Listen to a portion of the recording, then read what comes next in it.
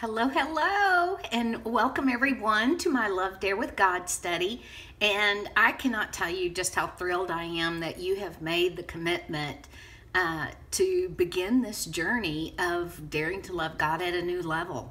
Um, for some of you, this may be really easy. For others, it may be a bit uncomfortable. You still may be thinking, okay, this is something that's set out for married couples, but um, one of the viewers pointed out something really important to me that she said made sense to her and hadn't really quite clicked in my head, but it does. It makes perfect sense in that uh, we are the bride of Christ. So it is a marriage in that sense, and it is a covenant with God. So, how do we go about getting that deep love? With God, we know that He loves us unconditionally, but we're perfectly imperfect humans. And so the way we go about uh, carrying out love in our everyday lives may have many different faces. And uh, so we'll just see what God has in store on this journey. And I'm very excited uh, to to see what he does. I know that may sound silly, but I am. I'm just for so long I've been the only person that did this and had any thoughts about it. And to get to that place, which was, as I mentioned before, was very slow because I kept wanting to be so good for God and just to do Him justice in this study and completely forgot about, well, okay, duh, just take your hands off of it, Celeta, let Him do it, and it'll be perfect. It will meet anyone and everyone exactly where they are. And uh, all I got to do is plant the seed and he'll do the rest. So uh, let's get started. First of all, your supplies. Um, you need the Love Dare, and uh, you need to go onto my blog, which if you're watching the video, then you've already found that, uh, celetac.com and uh, there are links there that will take you to um, a linked site of mine for the study itself. And but all the videos uh, will be available for you. There's a study schedule uh, that shows you the availability dates of each week of the study. And we're gonna do um, three to four days a week instead of one one dare one study per day. Um, it's like i said before it's doable but um, god just put it on my heart to slow down and not not push through it so fast to let him really uh, get into those those grooves with you to help you establish what may be some very new thought processes and habits. So you need your book, The Love Dare, and it's by uh, Stephen and Alex Kendrick. You can get it online at Amazon. You can get it at Barnes and Noble. You may even be able to find it at a thrift store um, or like half price books, something like that. You can even get um, a Kindle version that you can watch. You don't have to have a Kindle. You can watch it on, there's an app for laptops, for phones, for um, iPads or whatever type of tablet device you might have. So it is readily available. And um, since I'm providing a printout each week, you don't necessarily have to have one to be able to write in. I like I like paper. I like touching things and and so that I can highlight and make notes in the margin and things like that. So uh, a hard copy is my preference, but do whatever works for you. And um, and even if you decide to, you know, down the road that you want to switch up, that's okay too. Um, what I will have available for you um, each week at the beginning of the study, there will be a link for each Dare Day um, that goes right along with the book. Uh, I will uh, you know, write whatever the dare was that was listed in the book, and then provide a little bit of my commentary, which for the most part is taken from when I originally did this study in 2011. and it's hard to think that it's been that many years, but it has. But God's been doing a lot of work in the meantime. So that's a good thing because, of course, I have hopefully a better perspective on the way I looked at things. And so hopefully I can be able to uh, communicate better to you the way that I was viewing the study and taking it from a relationship with a spouse to a relationship with God. So each week you'll have a separate link for each dare day the love is patient love is kind etc and then there will be a handout and each handout um, i put mine and punched it in a little three ring notebook uh, that is eight and a half by 11 in half. So um, also made a cover for those of you that asked for a cover.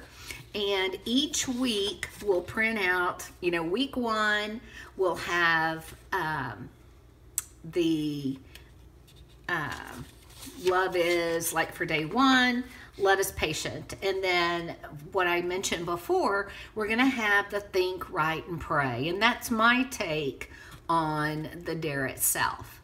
And then you'll have plenty of room to write your notes. Um, and then i'll provide a separate little instruction detail on printing. Um, the the weekly studies. I hope I made it really easy that they will print in a booklet format. So if you have a double-sided uh, printer, it'll you know print everything. You just have to make sure you always say short edge binding. Um, or if you don't, you can just print the odd pages and then print the even even pages. You know, run in the paperback through, and you'll be good. And if not, you can just do single pages and fold them in uh, that doesn't work if you want to have. I haven't thought about that. Just cut it in half and then put them in order. Each page is numbered for each week because that's something I, I tend to get a little confused from time to time. So that helps me and hopefully it'll be helpful for you too. So um, let's get started. On day one, love is patient. Um, when I read through the initial commentary, you know, I looked at the the scripture, which is Ephesians 4 2. Be completely humble and gentle, be patient, bearing with one another in love. And boy, doesn't that sound simple, but it's a little bit more difficult to put into action. And one of the things that, that stood out to me throughout this commentary was that, you know, the authors, you know, pointed out that love helps you settle down and begin extending mercy to those around you. And isn't that the truth? I remember years ago that I had too much on my plate and I was bouncing from one thing to another and was really before I even started opening a Bible. And I found that I was just, I was so tapped out because there was no way I was allowing God to pour His love into me and receive it. And in turn, I didn't really have much left to give anyone else, let alone a complete stranger.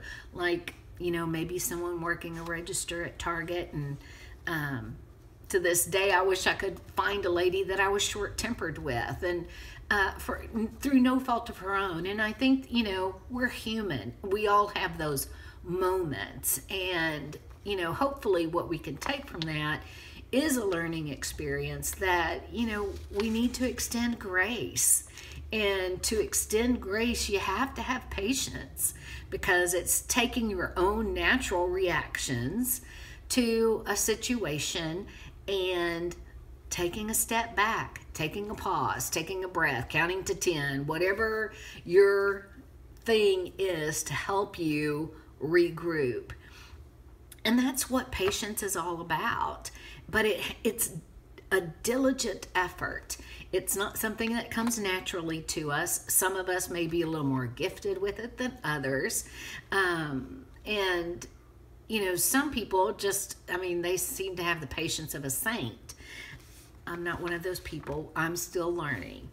Uh, but they, the authors also mention that patience brings an internal calm to an external storm. And when I read that, I immediately thought about a coworker who was always so composed.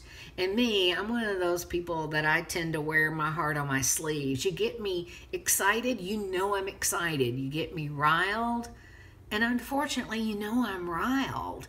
And I used to, you know, it was an insecurity that I would laugh off, and um, but it's not laughable, and it took a lot of work and diligence in my day-to-day life, and I mean, God, God did a lot of bless His heart. I feel like I'm I'm a full-time job for Him, but thank goodness God is God, and He's got plenty of of um, room for everybody, and um, so I don't have to feel like I'm hogging all of his time. But it's one of those things in watching her, she was someone I aspired to be like. And Adrian, I love you, sister. of the things I miss from work, I, I miss that relationship. But I have other relationships today too that um, are just as meaningful, but you know, she's a special one. Anyway, goodness. So you'll see I'm also a crier, a weeper, whatever you want to call it. They used to gosh, what did they call me in Bible study? I don't remember now, but I was I was the one I cried every week for a full year and I just you know, obviously I had a lot of pain to let go. There were plenty of tears. But anyway, so getting back to patience and i'm sorry that's one of those other things that you'll learn about me. I kind of you know deviate around. But i there is a, a point in there somewhere. You may just have to exercise patience with me.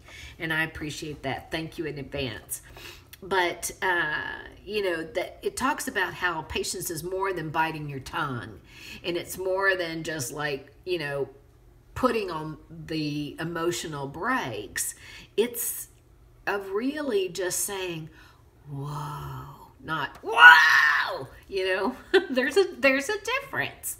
And that if you just like, you know, Lord, I I need you. I need you in this moment. Help me. And that's not a bad weakness. That's um, a courageous thing to know that you need God.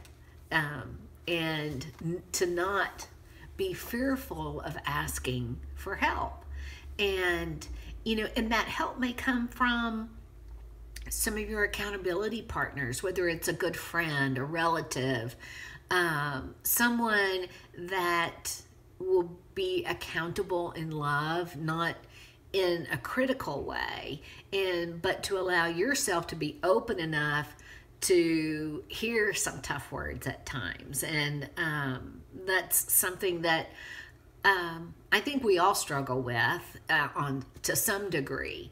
And uh, but find your person, and you already know have somebody in mind, but you have to you have to invite them in to to to help hold you accountable and um, to not be fearful of you letting emotions ride over um, those caring words that you need to hear.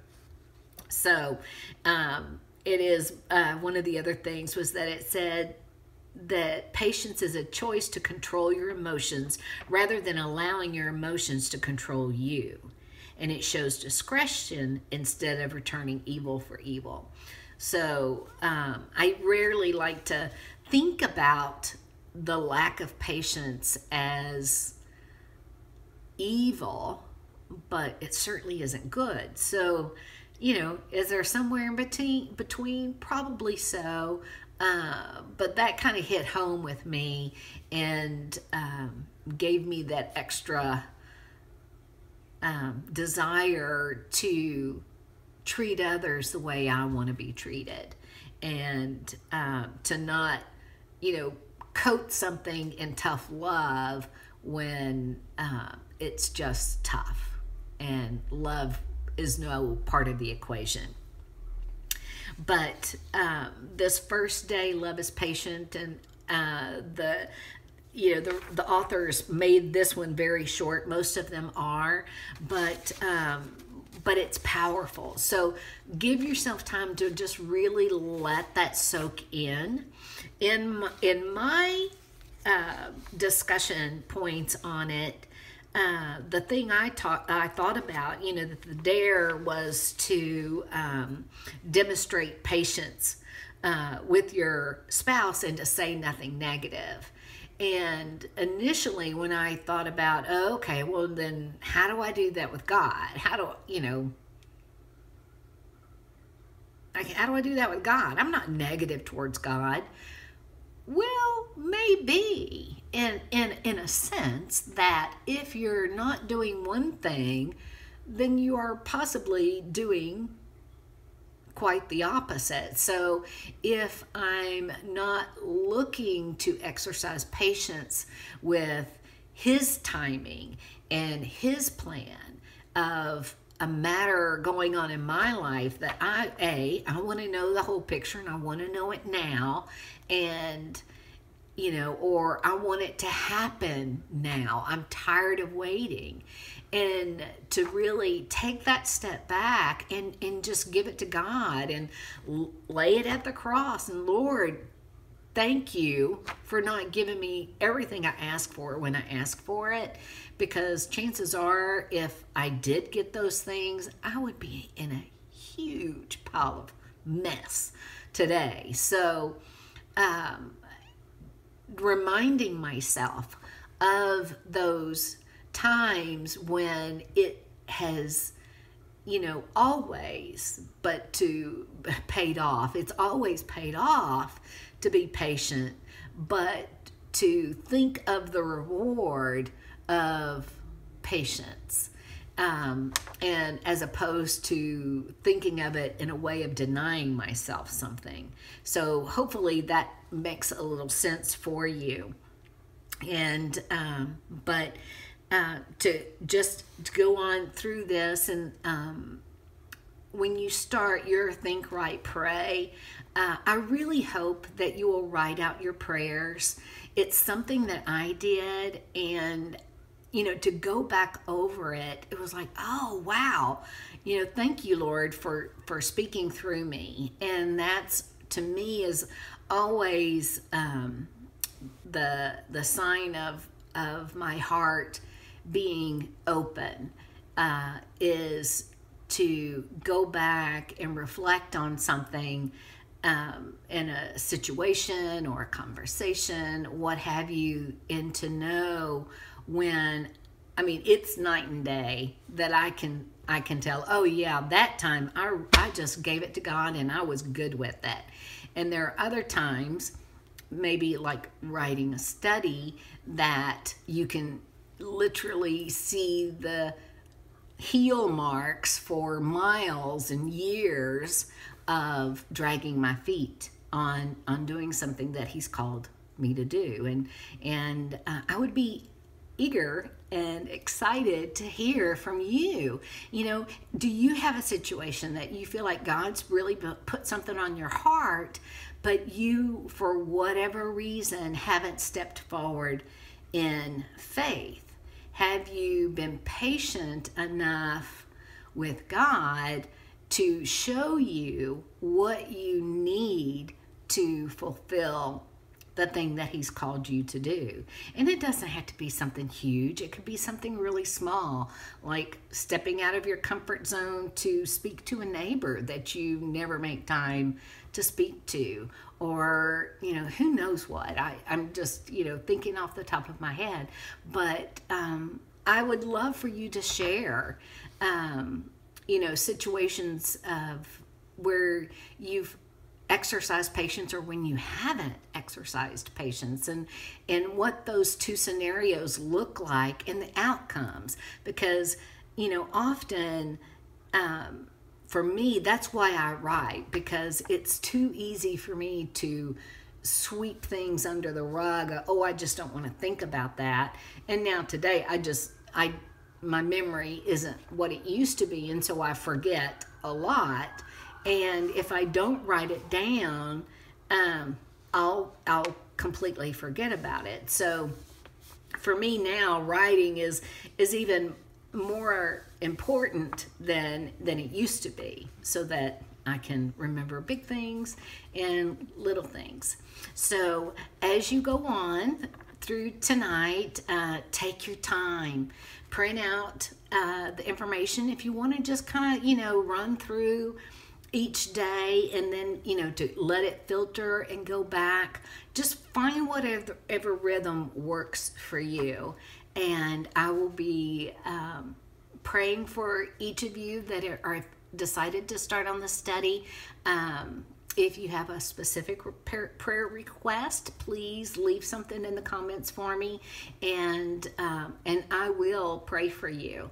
And i consider that to be um, a privilege to pray for others. And um, I guess that's it. This is the end of video one. Hopefully, it hasn't been too long. You're not asleep and uh, you're raring to go and get started with the study. So, thank you so much for joining in and blessings to you all. Good night.